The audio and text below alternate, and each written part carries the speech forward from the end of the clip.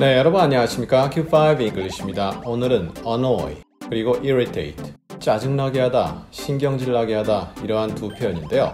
어떻게 차이가 날까요? 자세히 나누어 보도록 하겠습니다. 오늘 영상 보시면서 마음에 드신다, 그간 학교에서 배운 것이 좀 어색하다라고 느끼셨다면 구독, 좋아요, 알림 설정 꼭 눌러주시고요. 그 어색함을 오늘 내용을 통해서 털어버리시기를 부탁드립니다. 먼저 두 단어는요, 짜증난다, 신경질 난다라는 그러한 의미로서는 거의 대동소이하게 쓰일 수가 있습니다. 정서적인 부분, 이모셔널한 부분을 다룰 때도 비슷하게 쓰일 수가 있는 거죠. 비슷하다고 말했지만 결국 똑같진 않습니다. 약간 다른데요. 언어인은 이렇습니다. 사소한 어떤 반복적인 것이 원인이 됩니다. 그로 인해서 신경이 거슬리는 거죠. 그리고 화도 약간 나게 됩니다.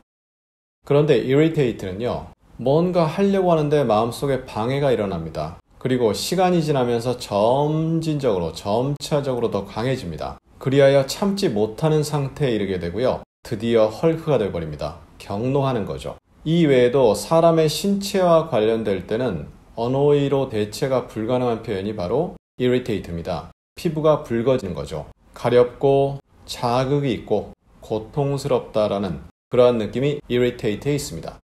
그럼 이 두 표현 비슷한 줄 알았는데 약간 차이가 나는데요. 자세히 예문을 통해서 확인해 보도록 하겠습니다. I'm really annoyed by his behavior. 나는 그의 행동으로 인해서 정말 짜증이 난다. 그냥 국어로는 다 짜증입니다. 그런데 그의 행동이 반복돼서 짜증이 난다는 내용이죠. 어떤 특정 행동이 있는데 제가 별로 안 좋아하는데 그걸 계속 반복한다. 그러한 느낌이 들어가는 거죠. What are the most annoying habits people have?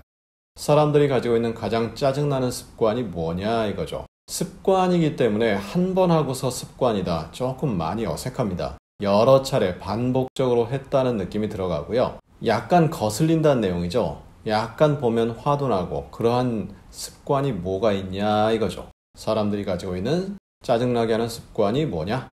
It really annoys me when I see people smoking in public places. 사람들이 공공장소에서 흡연하는 것을 보면 정말 짜증난다. really란 말이 없다면 약간 화가 나는 건데 really가 있으니까 정말 화가 난다. 짜증난다. 그래서 이럴 때는 really annoy, 그냥 irritate로 바꿔 쓸 수도 있습니다. 상관없는 거죠. 좌우간. see, 사람들을, other people을 봅니다. 그 다음에 ing, 처음부터 끝까지 다 보는 건 아니죠. 중간에 잠깐 보는데 그 모습이 정말 짜증나게 한다. 이러한 느낌 들어가죠. 공공장소에서 Your attitude irritates me. 너의 태도는 날 짜증나게 한다. attitude란 단어 저희 최근 강의에서 다룬 바 있는데요. 링크 통해서 확인 부탁드리고요. 그러니까 네가 보이는 그러한 태도, 물론 이제 그 태도보다는 그로 인한 행동이 되겠죠. 그러한 행동, 태도가 날 정말 짜증나게 한다, 경로하게 한다, 헐크로 만든다 이러한 느낌 들어가는 거죠. I am irritated by a mosquito buzzing at night. 나는 밤에 잉잉 되는 모기 한 마리 때문에 정말 짜증난다. 여러 마리가 잉잉 되면 그냥 모기약 뿌린다든가 등등 여러 조치를 취하는데요. 한 마리가 그러면 그 한 마리가 어디 있는지도 잘 안 보입니다. 그리고 그 한 마리 잡으려고 불 켜고 아주 난리를 떠는 그런 상황이 펼쳐질 수도 있거든요. 여기서는 난리 떠는 상황이라 생각하시면 되겠습니다. 저놈 죽이고 말 거야. 저놈 반드시 내가 벽에 압사시킬 거야. 막 그러면서 벽을 막 쿵쿵 치고 난리가 난 거죠. 모기약도 뿌리고 그러한 느낌이 들어갑니다. 모기나 파리가 잉잉대고 이렇게 날아다닐 때 그때를 버즈라 그러죠. 이러한 의성어 표현도 잘 알아두시면 좋습니다. 그래서 밤에 잉잉대는 모기 때문에 정말 돌아버리겠다. 이러한 내용이 되겠죠. My contact lenses still irritate my eyes.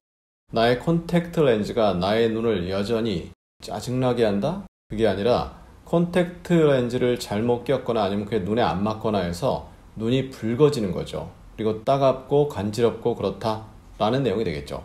이럴 때는 짜증과 거리가 아주 멀게 됩니다. 자 이렇게 해서 오늘 짜증나다, 신경 거슬리다 라고 표현되는 annoy, irritate 다루어 보았습니다. 일상에선 섞어 쓴다고 하지만 강도가 조금 다를 수 있다. 이렇게 확인해 보셨고요. 우리 다음 시간엔 탈출하다 라고 학창시절에 열심히 동의어 표시하면서 외웠던 escape 그리고 flee 어떻게 다를까요? 차이가 있습니다. 그 차이를 다음 시간에 자세히 나누어 보도록 하겠습니다. 감사합니다.